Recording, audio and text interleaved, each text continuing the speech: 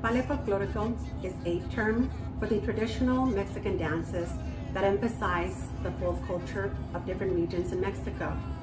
Some of the dances represent the state of Jalisco, Veracruz, Sinaloa, and so on. The dancers wear very colorful, long and full dresses or skirts during their performances.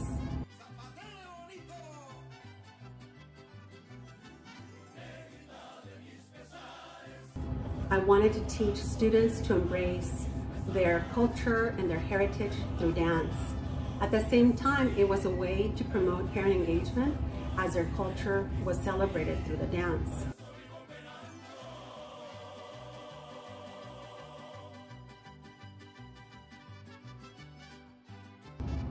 I would like the Ballet Folklorico Club to continue to grow in the many years to come. I would like to have the group participate in more events throughout the community.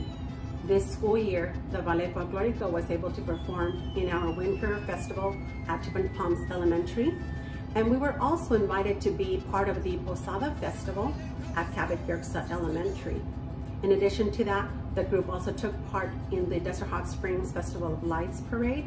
And I would like to see our group actively participating uh, next school year as well. I really enjoyed being in Ballet Folklorico. I met some really nice and amazing people. Also, it was an amazing experience for me, and it was amazing doing dances with the class. Hi, my name is Juliana Gonzalez, and I am in TBP Ballet Folklorico. I joined Ballet Folklorico to learn about Hispanic culture.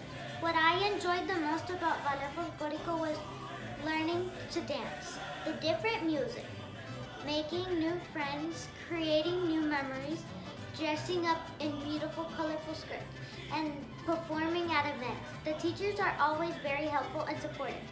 It was a lot of fun.